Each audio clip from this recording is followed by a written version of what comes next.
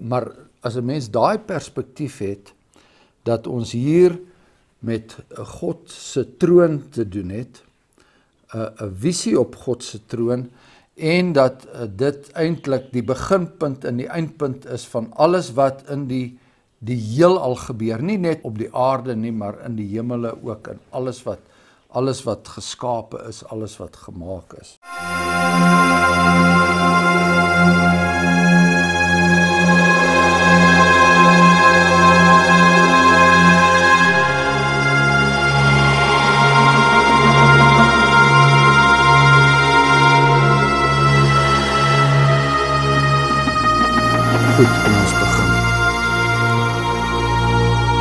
Sien ons Vader U open vir ons die hemelse werklikheid vanaand. U wys ons dinge wat vir ons as gewone mense verstommend is. U bring ons nader na die troon van waar U alles regeer en van waar U alles bestuur. Ons bid dat die Heilige Gees in ons harte die nodige eerbied sal wek, die nodige ontzag dat U vir ons in ons stompsinnigheid sal help dat ons hierdie dinge sal kan begryp dat ons dit sal aanvaar en dat ons soos u knegg Johannes verwonderd sal wees. Ons bid dat u vir ons daardie vrede sal gee wat alle verstand te bowe gaan. In hierdie aanduur te midde van 'n wêreld wat soveel dinge het soveel afleiding het soveel het om oor bekommerd te wees en soveel sorges daagliks oor ons pad bring. Ons dankie vir hierdie woord en ons dankie vir die Heilige Gees wat getuig dat dit die waarheid is. Amen Openbaring 4, 'n hele 'n nuwe gedeelte in die boek Openbaring wat nou aan die orde kom. Ons is nou aan die einde uh, van die eerste gedeelte wat hoofsaaklik gerig was uh, aan die sewe gemeentes van Klein-Asië. So Openbaring 4 begin met die woorde na hierdie dinge. Na hierdie dinge het ek gesien. Kyk 'n geopende deur in die hemel. En die eerste stem wat ek soos 'n bassein met my hoor spreek het, het gesê: "Kom op hierheen en ek sal jou toon wat na hierdie dinge moet gebeur." En dadelik was ek in die gees en kyk, daar staan 'n troon in die hemel en een sit op die troon. En hy wat daarop sit, het in sy voorkoms gelyk soos die steen jaspis en sardius. En rondom die troon was 'n reënboog wat in sy voorkoms gelyk het so smarag. En rondom die troon was daar 24 trone. En op die trone het ek 24 ouderlinge sien sit, bekleed met wit klere, en hulle het goue krones op hulle hoofde gehad. En daar het weerligte en donderslae en stemme uit die troon uitgegaan en sewe vuurvakkels wat die sewe geeste van God is, het voor die troon gebrand. En voor die troon was daar 'n see van glas soos kristal. En in die middel van die troon en rondom die troon vier lewende wesens vol oë van voor en van agter. En die eerste lewende wese was soos 'n leeu. En die tweede lewende wese was soos 'n kalf. En die derde lewende wese het 'n aangesig gehad soos 'n mens en die vierde lewende wese was soos 'n arend wat vlieg. En die vier lewende wesens het elkeen vir homself ses vlerke gehad. En hulle was rondom en binne in vol oë en hulle het sonder ophou dag en nag gesê: Heilig, heilig, heilig is die Here God, die Almagtige, wat was en wat is en wat kom. En elke keer as die lewende wesens heerlikheid en eer en danksegging gee aan hom wat op die troon sit wat tot in alle ewigheid lewe, val die 24 ouderlinge neer voor hom wat op die troon sit en aanbid hom wat tot in alle ewigheid lewe en werp hulle krones voor die troon en sê u is waardig o Here om te ontvang die heerlikheid en die eer en die krag. Want u het alles geskape en deur u wil bestaan hulle en is hulle geskape. Die uh, hier in die, in die middeleeue uh, was daar 'n uh, sterrekundige met die naam van Copernicus en hy het agtergekom eintlik dit daar gestel dat die son draai nie om die aarde nie maar dat die aarde om die son wentel. Dit het destyds baie mense veral van die Rooms-Katolieke Kerk baie ontstel en hulle het hom gesien as 'n ketter. Dat Copernicus uh hierdie idee dat die aarde die sentrum van die heelal is uh dat hy dit eintlik omver gegooi het deur te sê dat die dat die aarde rondom die son beweeg. Nou uh vandag weet ons dat dit is natuurlik wel so dat die aarde rondom die son beweeg saam met die ander planete. Maar ons weet ook dat die sonnestelsel wat ons het is nie die enigste sonnestelsel nie en dat hierdie sonnestelsel ook in verhouding staan met talle ander sonnestelsels en meeste hulle nog groter en indrukwekkender en onpylbaarder is ons eie sonnestelsel. Maar die sentrum van die kosmos in die heelal word in die waarheid hier vir ons hier geskilder. Dit is die begin en die einde van alles. En uh, dit is God se troon in die hemele uh alles kom daarvandaan af uit en alles gebeur daarvandaan af. So wanneer 'n mens hierdie gedeelte lees en ons sien hier dinge wat jy weet baie keer as mense die boek Openbaring lees en dan kom hulle by iets soos hierdie en hulle kom by die vier lewende wesens, hulle kom by uh die uh die uh die see van glas of iets van die aard, dan steek hulle daarbey vas en en dan dan as dit dan dan hulle nou 'n blokkade, maar wat beteken dit? Ek weet nie wat dit beteken nie. So ek gee maar op. Ehm um, uh maar as 'n mens daai perspektief het dat ons hier met God se troon te doen het, 'n uh, 'n visie op God se troon en dat uh, dit eintlik die beginpunt en die eindpunt is van alle alles wat in die die heelal gebeur, nie net in die in op die aarde nie, maar in die hemele ook en alles wat alles wat geskape is, alles wat gemaak is. Ehm uh, so twee woorde wat of begrippe wat hier uitstaan is die eerstens is troon. En as 'n mens dink aan troon, dan dink jy aan 'n heerskappy. Jy dink aan aan God wat uh iemand wat regeer, iemand wat absolute mag het. 'n troon is ook die plek van waar alle regspraak vandaan kom, uh waar alle uh alle besluite ten opsigte van uh administratiewe en staatkundige uh besluite geneem word en so meer oorloë verklaar word. Dit is 'n troon, maar hierdie is die troon van die Almagtige. Uh wat ons dan ook gesien het, uh die een wat sit op die troon uh Uh ons sien sy almag hier. Ons sien hier dat hy uh die een is wat uh bo kan die geskiedenis staan. Want uh hy regeer tot in alle ewigheid en hy lewe tot in alle ewigheid. Uh so hier is 'n hier is 'n begrip al klaar wat buitekant ons verstaan veld is. Uh die uh die uh hemelwesens rondom hom uh dien hom sonder ophou dag en nag. Met ander woorde, dag en nag is maar net nou om te sê daar is geen onderskeid nie. Hy is die een wat was en hy is die een wat is en hy is die een wat kom. En dan kry ons nou 'n klare idee dat as jy reg kan onthou, het ons hier reg aan die begin van die boek Openbaring toe ons vir daai van daardie trinitariese seun gepraat het, het ons mos gepraat van uh uh die seun wat uitgespreek word van hom wat is en wat was en wat kom. God die Vader. En dan die getroue getuie. Dit is die tweede een van die van die drie eenheid.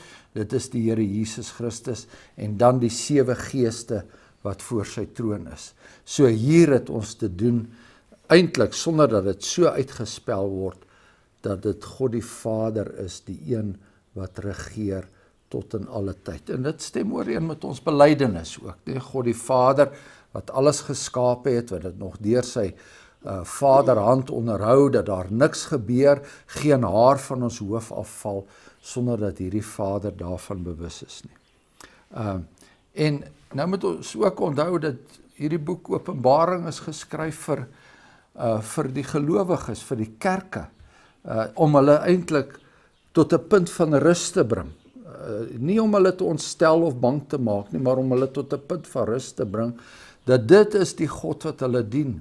En dat wat ook al in die geskiedenis vorentoe gaan gebeur of gebeur het en ons sal nou verder in die boek Openbaring daarmee aangaan uh, dat hy dit dit onder sy beheer is dat dit dat hy die een is wat dit wat dit bepaal dat daar niks is wat hom ontstel nie hy is die een wat op die troon sit soos ons hier gelees het uh en ons sal nou hiervandaan af verder sien uh die die die troon toneel of die troonkamer toneel word nou in hoofstuk 5 verder uitgebrei wanneer uh, ons die lam daar ontmoet. Uh maar ons moet net eers rustig wees en besef dat hierdie skepingsopenbaring kan ons dit sien uh, sien dat dit die die herskepingsopenbaring voorafgaan. Eerste die skepingsopenbaring en dit kry ons so in die in die in die Bybel ook God die skepper van hemel en aarde en dan kom die herskepingsopenbaring en dit is die verhaal in die gebeure in die geskiedenis van die Here Jesus Christus.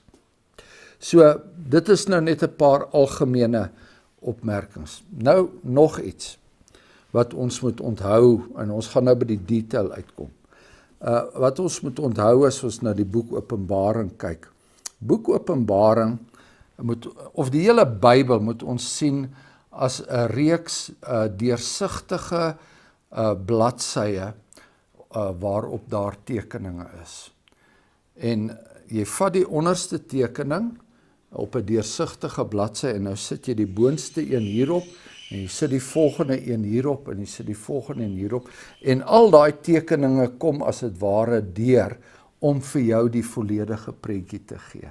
Uh, en die die, die Bybel moet eintlik so gelees word. As jy as jy net daai een tekening het, en jy bou jou hele teologie op daai een tekening en jy het nie die ander tekeninge wat bo op kom nie, dan gaan jy dan gaan jy nie die hele prentjie hê nie. So al die tekeninge is belangrik. Uh, kom ons noem nou maar net.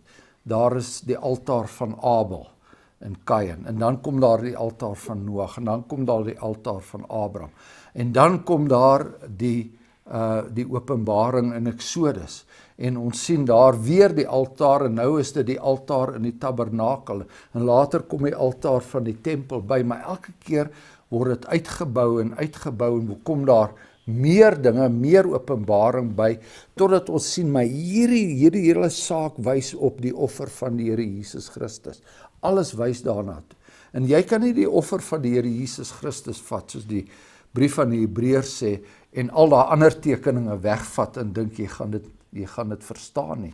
Jy het al die onderste tekeninge het het jy nodig. So dieselfde is dit hierso ook. Ons ons uh, sien hier God op sy troon en daar's verskeie gedeeltes in die Ou Testament en elders wat ons na kan verwys van God op sy troon en ons sien hier uh, dinge soos die see van glas of die see van kristal, dinge van die weerligte en so meer.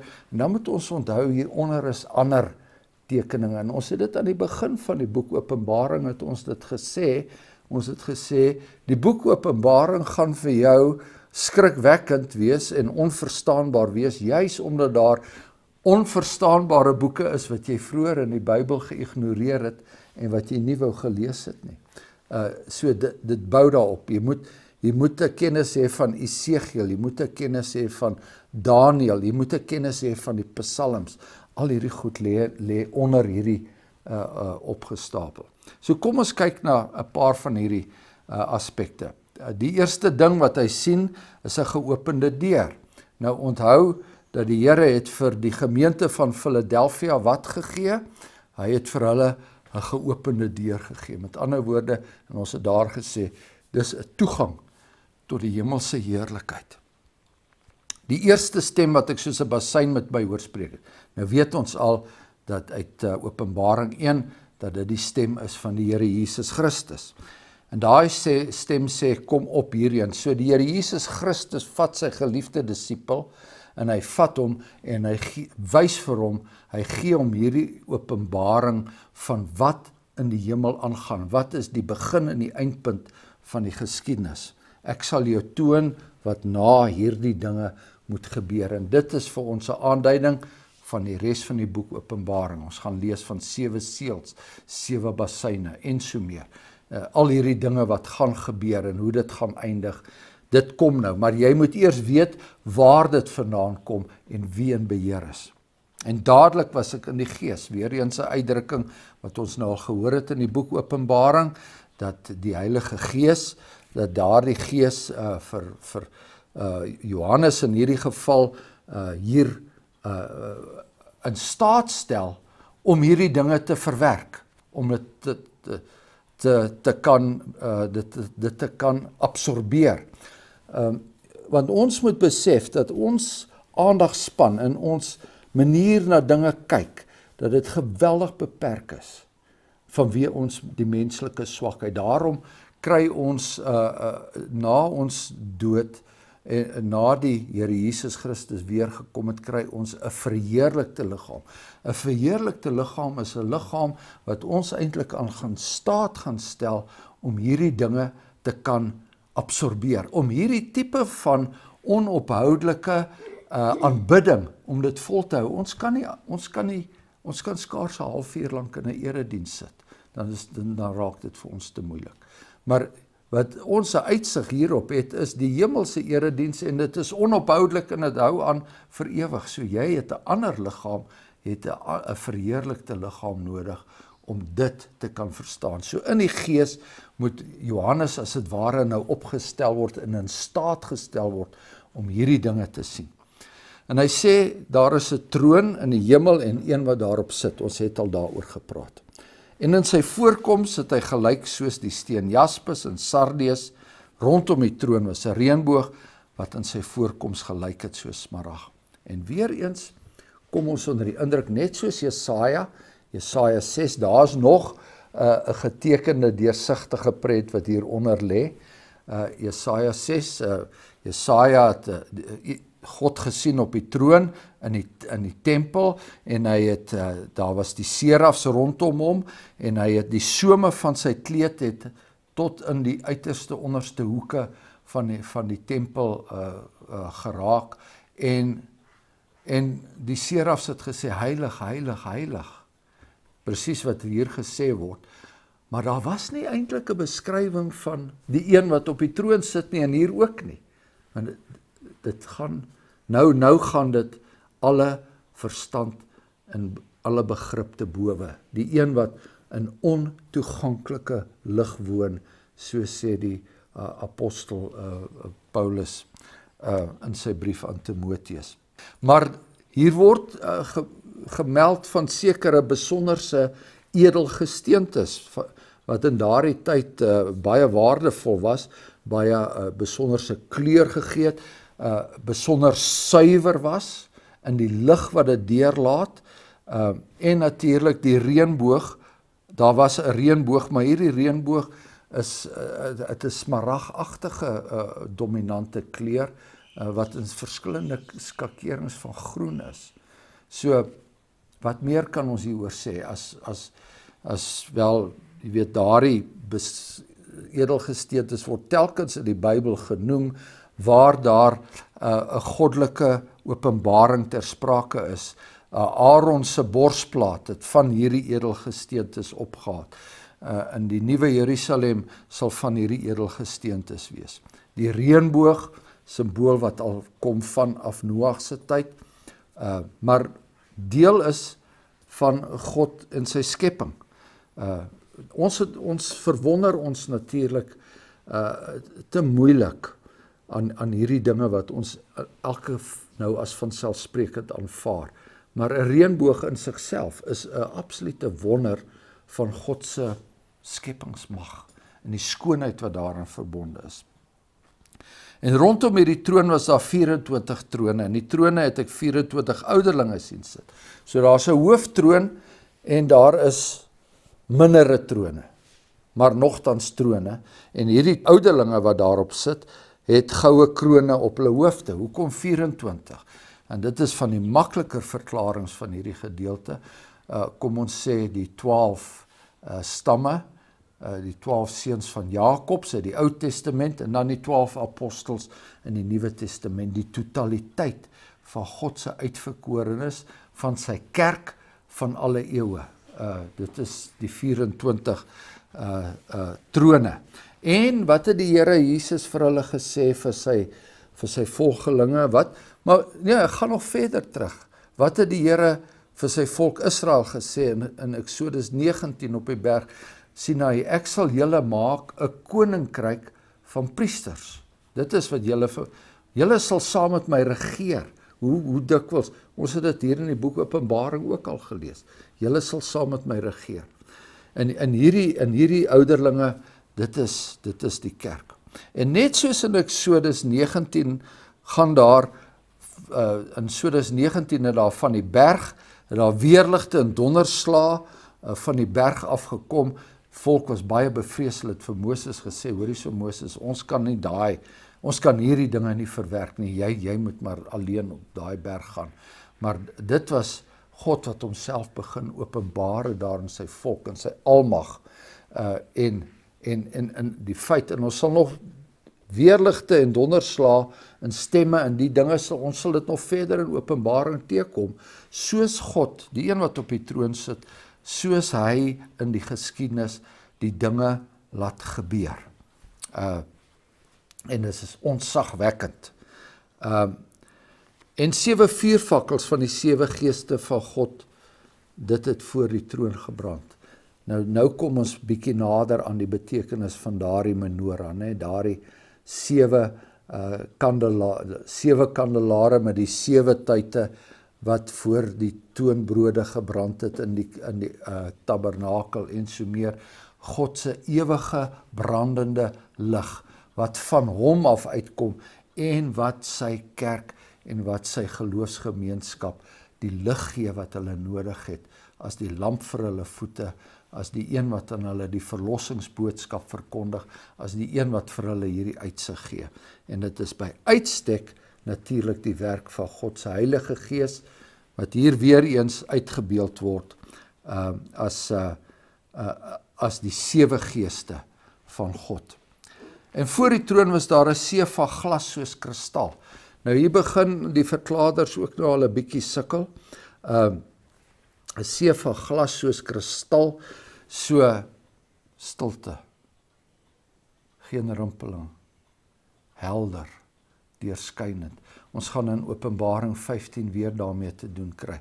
En daar is dit eintlik 'n verwysing na wat gebeur het nadat die Rooi See op Farao en sy en sy uh uh sy uh, magte uh toegesak het in die volgende dag was dit spieelglad geweest uh dan sien en en en daar's 'n gloeiende uh 'n gloeiende voorkoms aan hierdie see van glas uh wat uh uh wat wat eintlik getuig God het nou rus gebring.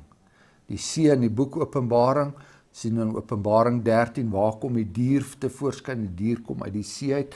Die see is onrustig. Die see is Eh, is 'n plek van van baie van baie onstuimigheid en dit dit is 'n beeld van die nasies wat kom en gaan ons het in die psalms het ons ook al daaraan geraak nê. Nee.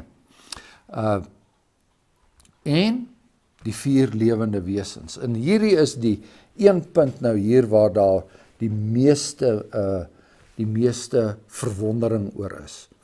Uh jy weet die die Engelse dramaturg Shakespeare het 'n stuk geskryf Hamlet en in Hamlet uh, word daar op een stadium gesê dis nadat Hamlet 'n spook gesien het uh, word daar gesê there are more things in heaven and earth than dreamt of in your philosophy. Daar is meer dinge in die hemel en op die aarde as wat jy jouself kan voorstel. Uh, en inderdaad uh, hierdie hierdie verskynsel uh is simbolies ja dit is simbolies maar ons moet ook uh, daarvoor ruimte laat dat God in sy skepping uh dinge doen en gemaak het wat ons nie noodwendig uh alles natuurkundig en natuurwetenskaplik kan verklaar nie. Uh maar die die die mees algemene gedagte wat ek ook ondersteun is dat hierdie vier lewende wesens verteenwoordig die skepping uh die skepping aan die een kant en die kerk die 24 ouderlinge aan die ander kant wat saam in 'n uh, aanbidding voor die almagtige God is. Uh en die verskeidenheid wat ons hier kry, die leeu, uh die kalf, die mens, die redelikheid, die krag, uh die uh uh die uh alomteenwoordigheid, die vaardigheid van die arend, al daai elemente wat hier by mekaar kom wat in God se skepping uh opgesluit is is in hierdie vier lewende wesens en hulle is vol oë.